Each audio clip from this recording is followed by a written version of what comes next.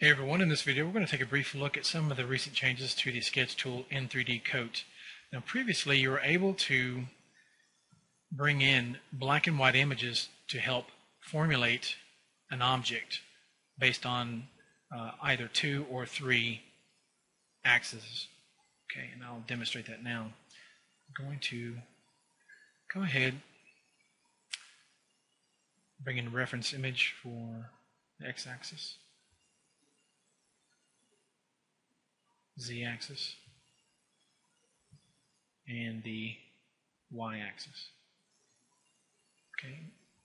Now, if you don't have a reference image or if you want to add this later, you can always go in okay, to uh, an orthographic view.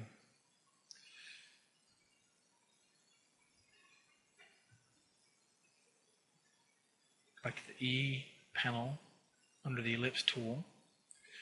We'll try to create some wheels, or at least a basis for wheels anyway. Try to guesstimate the center point and drag out holding the shift key, much like you would in Photoshop. Okay, I'm going to undo and turn off symmetry. As you can see, that would work if, if that's what we wanted. Try this again.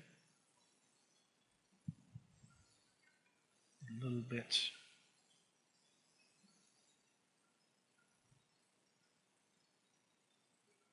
Okay, close enough.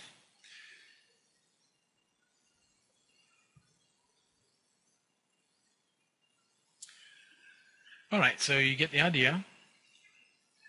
And uh, in this case, the reference image is added.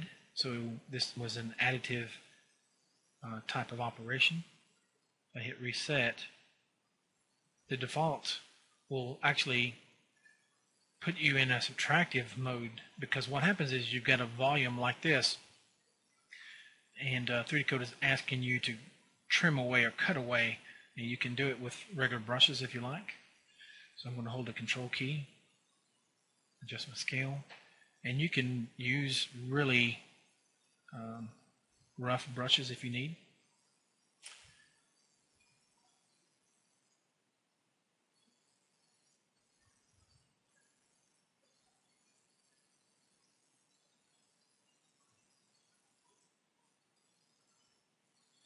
Um, let's try something else. So yeah, you can have a lot of fun with this. Um, I'm going to reset the sketch tool. And if you want to start from a, a, clean slate without actually any volume and work in an additive mode, uh, you can click current on each of the axes. Clear current, I should say. And you can see it's clearing the white space. All right, so let's go back. And so if you wanted to create a rock or number of rocks uh, for your scene to populate, just use a free form if you like.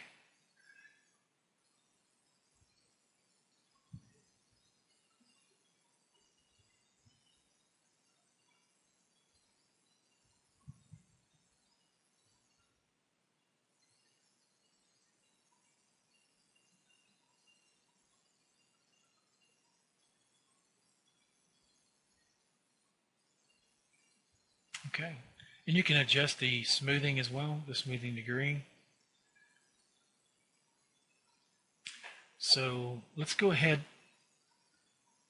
and add a little bit of resolution before we apply this. So I'm going to go ahead and hit apply.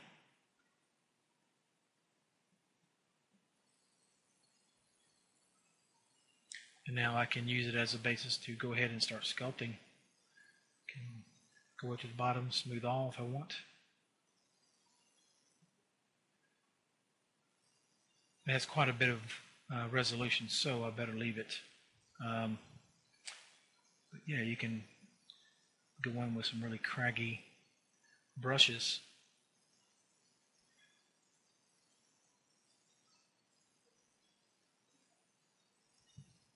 Just to fall up.